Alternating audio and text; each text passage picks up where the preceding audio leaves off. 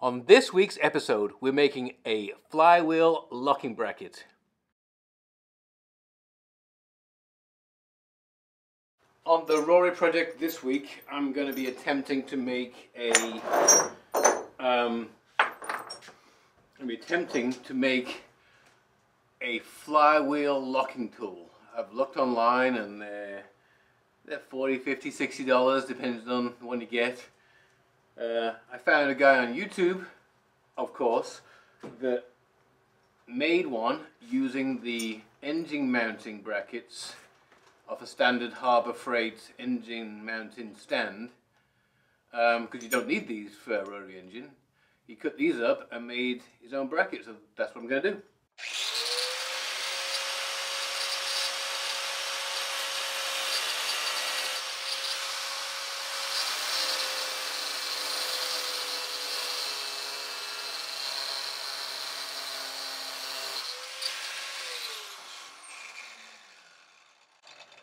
Going to think about this a bit more.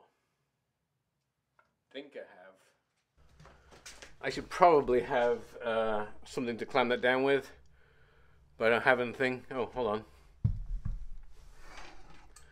I do. I got this little doodad. That this might just about save me from chopping my fingers off. There we go. Yeah. Here we go. It works. Mind your ears.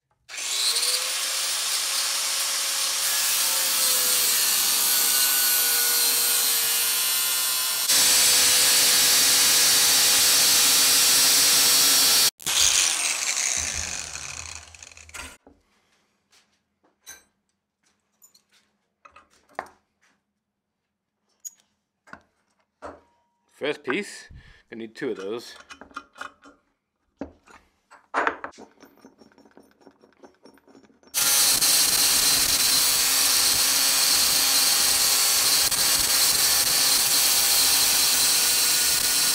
Alright, so I got I got those two pieces cut off. I'm gonna clean the ends up quite a lot. It's still, ow, that one's still quite warm. uh, so I'm gonna clean the ends up. Well, I'm going to do the other cutting first. I'll clean those up once I've changed the wheel to the, the flappy wheel. So now, I'm going to take this piece, I'm going to clean this up a little bit.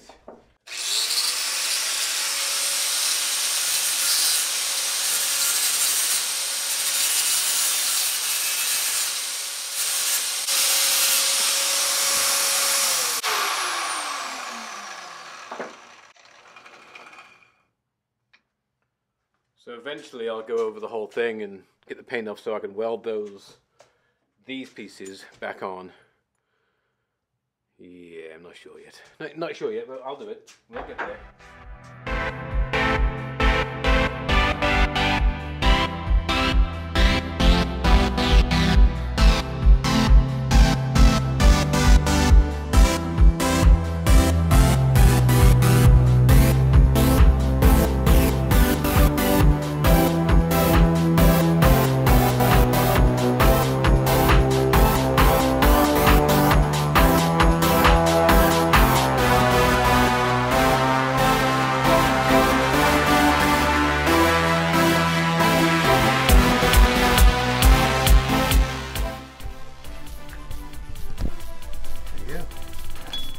Don't need that bit, and this is the piece I'm going to use.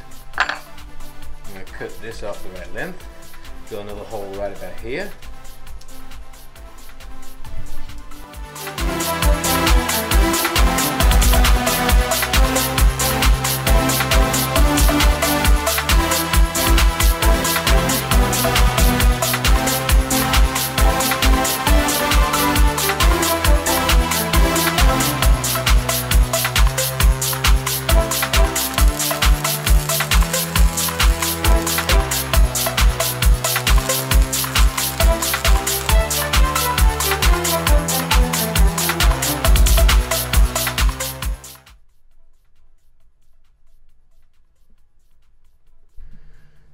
See if I can crank on it.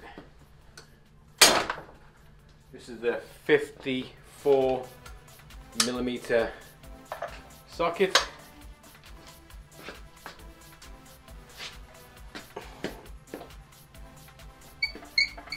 doesn't move. That's that's a good sign, I guess.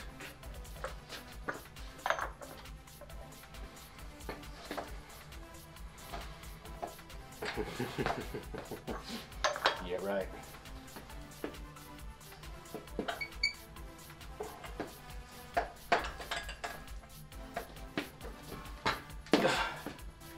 Well, it holds it. Need a need a bar.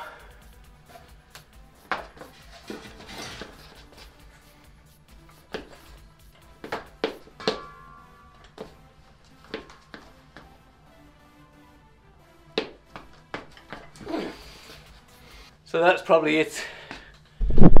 So that's it for this week's episode. Made the bracket, definitely hold it. Now I've got to get the nut off. That didn't sound right.